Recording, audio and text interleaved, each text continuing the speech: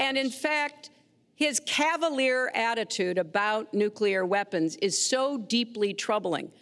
That is the number one threat we face in the world, and it becomes particularly threatening if terrorists ever get their hands on any nuclear material. So, a man who can be provoked by a tweet should not have his fingers anywhere near the nuclear codes, as far as I think anyone with any sense about this should be concerned. That line's getting a little bit old, I must say. Listen, It's a good one, I, though. I would like to. Well no, describes the not a- problem. it's not an accurate one at all. It's not an accurate one. So I just want to give a lot of things and just to respond.